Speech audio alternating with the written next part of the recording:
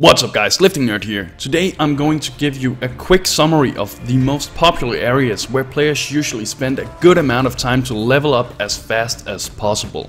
Later on in the video I will provide you with a cookie cutter leveling template that can take you from level 1 to level 70 in both a safe and efficient manner. The experience system in Path of Exile will penalize you and give you diminished returns of your experience gain if you're either too over leveled or under leveled for a specific zone.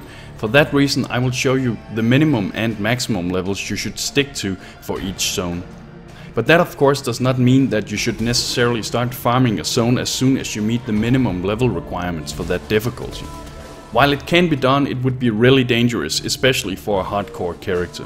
To give you an example of this, when a character reaches level 61, he will no longer get diminished returns from farming a level 67 area such as the catacombs or the library. That however does not mean that it is necessarily a good idea as the monsters will be a lot harder to deal with. For that reason I will as I mentioned earlier give you an example of how I would level a character by utilizing these zones listed in the video. I will do this by instructing you as to when I feel it is a good time to farm these areas and when to progress to the next ones based on my experience. Basically, I will give you a leveling template. But let's start with the areas first. And we're going to start in Act 1 and more specifically at the Ledge of course. The Ledge is one of the absolute most popular areas to farm in Path of Exile. The layout is very simple. You basically run from one end to the other. At the end of the map you'll find the unique zone boss Kuduku. Make sure you have some lightning resistances if you want to fight this guy in either cruel or merciless difficulty.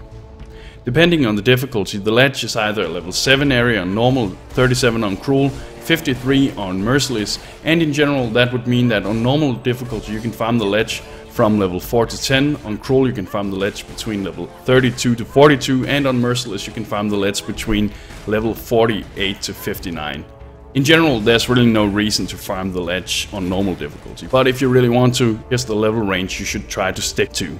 The next area is located in Act 2. It is the Chamber of Sins level 1. The reason you should farm this area is because of its guaranteed spawns of blue or magic monsters. These monsters will always spawn in a triangle formation, which is dependent of the entrance to level 2. As you can see on these pictures, the magic monsters will spawn in different locations depending on where the entrance is. There will never be a pack of monsters at the entrance to level 2, but instead they will be in the places where the entrance didn't spawn this time. Besides, it's not too uncommon to find even more packs of magic monsters when farming the Chamber of Sins level 1, thus making this zone ideal for farming. The only thing you need to be aware of is the poison cloud the zombies drop on the ground on death and the unique zone boss Plague Wretch who spawns in the middle of the zone. So keep your eyes on your health pool at all times if you want to fight him. The Chamber of Sins is either a level 19 area on normal, 43 on cruel, and 58 on Merciless. And in general that would mean that on normal you can farm the Chamber of Sins between level 16 and 23. On Cruel you can farm it between level 38 and 49 and on Merciless difficulty you can farm the Chamber of Sins between level 52 and 65. Alright, so now for the third area. In this case it is in Act 3 and it is the City of Sarn. The layout of the city of Sarn is a basic bottom to top like map. You simply run north from the waypoint until you reach the Sarn camp and from there you reset the area and go back outside and start to move towards the waypoint at the bottom of the map. You'll then use the waypoint to take yourself to the Sarn camp and when you're there you'll once again use the waypoint to return to the city of Sarn, rinse and repeat. An additional bonus of the City of Sarn is that on Merciless you'll be able to use the rare items for the Chaos recipe as the item level is now above level 60. One thing you need to be aware of in this area is the unique zone boss Perpetus. This dude can be very dangerous. He uses ethereal knives, bear trap and whirling blades. The main thing to worry about is his bear trap, this ability can do tons of damage and will hold you in place and make you unable to move while he uses his ethereal knives to further damage you. You should never engage Perpetus if your defenses isn't optimized. Optimized defenses in this case means that you have a good amount of life, energy shield, armor or evasion. A granite and jade flask is great for this encounter as well. Depending on the difficulty, the city of Sarn is either a level 26 area on normal 46 on Cruel, 61 on Merciless, and in general that would mean that on normal difficulty you can farm this area between level 22 and 30. On Cruel you can farm the City of Sarn between level 41 and 52. On Merciless you can farm the City of Sarn between level 55 and 68.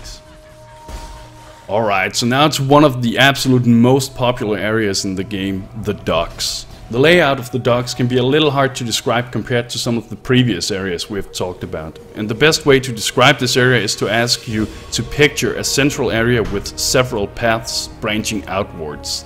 The paths or branches all have a appear at the end of the map, at those there will always be a guaranteed blue magic pack of monsters and it is those packs that contributes to the majority of experience gained in this area. And typically there are between 3 or 4 piers in the docks as far as I know. Depending on the difficulty, the docks is either level 32 area on normal, 50 on cruel and 62 on merciless.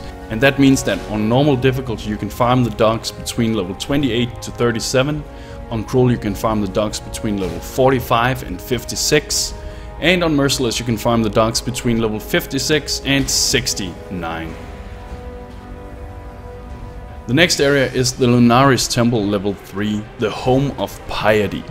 This area is great for farming both experience and items. The layout is pretty random, but as a general rule you simply need to run to one of the sides. If you locate stairways taking you up and further away from the middle, then you are usually on the right track. You should never go down a stairway. If you do that, you're on the wrong path. Make sure your defenses are optimal before entering this area, as there are a few dangerous mobs in this zone. Among these are the ones that cast vulnerability and the dreaded titty bitches. The best way to encounter these is by having a life or mana flask of warding, which is the one that dispels curses, and either a high amount of armor or evasion. A jade or granite flask just as with Perpetus is very useful for these encounters. Even if you can't kill Piety, the Lunaris Temple is still a great place to farm experience. There's lots of magic pack monster spawns and the general density of mobs is great. The Lunaris Temple is either level 34 on normal difficulty, 52 on cruel difficulty and 66 on merciless difficulty. And that means that on normal difficulty you can farm the Lunaris Temple between level 30 and 39. On cruel you can farm it between level 47 and 58, and on Merciless difficulty you can farm the Lunaris Temple between level 60 and 73. Note that the Lunaris Temple level 2 that you have to progress through to reach level 3 obviously is one level lower than level 3. Alright, so the two last areas I'm going to recommend to you guys to farm before reaching maps is the library and the catacombs. These areas are mostly farmed on merciless difficulty as their area level is both 67. Because of that a lot of people farm these areas instead of the low level 66 and 67 maps. In the library you basically run from one end to the other which is the entrance of the library to the entrance of the archives. As soon as you've done this a few times the layout becomes fairly apparent. The catacombs is basically like a really big hall of small corridors and mazes. For that reason you might find yourself having to backtrack a few times and for this area I recommend taking the waypoint to the marketplace, run into the catacombs and when you feel like you've cleared the most of the area, use the town portal to get back to town, then take the waypoint to the marketplace and start over again. You shouldn't run back to the entrance and waste time to reset the area. Personally, I like the library the most as I feel like it's more efficient, there's less backtracking and the monster density is a little better. But I will have to do some testing on this to see if it is actually better. While these areas can be farmed on normal and cruel, I would recommend only farming them on merciless. And for that reason, I'm only going to give you the merciless level range recommendations. Basically, you can farm these areas between level 61 and 74. Alright, so those are the zones I recommend you level in before you start on maps guys. I'm now going to present to you a leveling template that I feel is both very safe and efficient. So basically, this is how I suggest your level, listen up.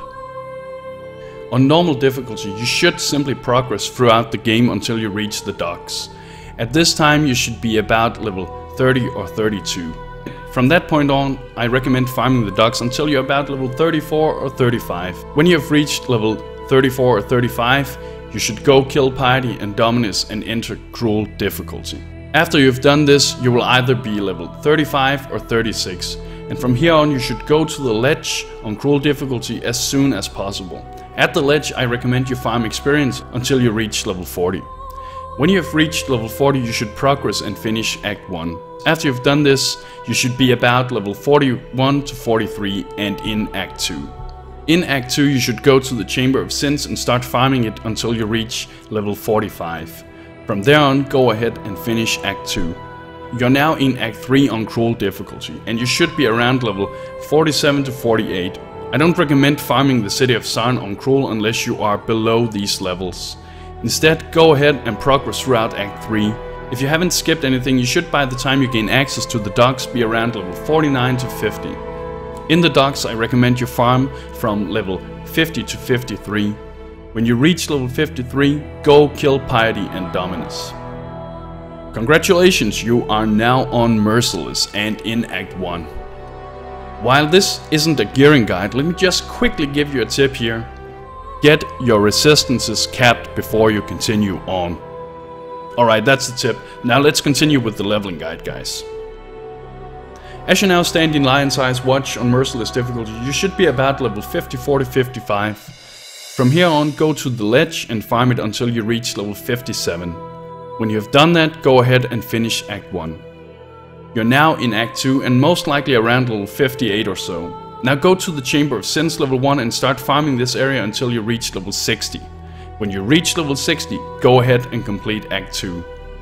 You should now find yourself in Act 3 on Merciless difficulty.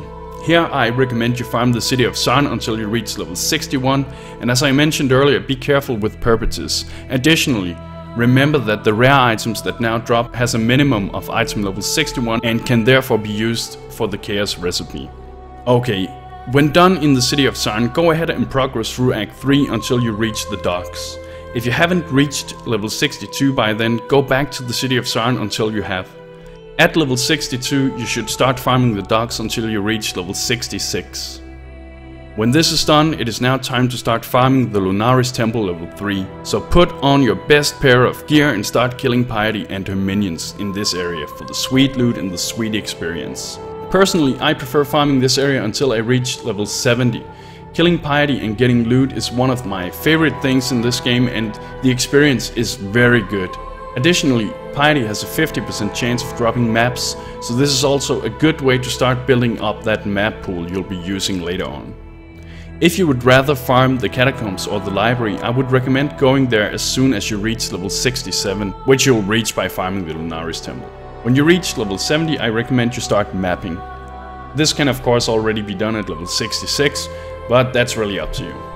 I personally prefer piety farming as I said, and it is in general a good idea to build up your map pool before you start relying only on maps as your future content.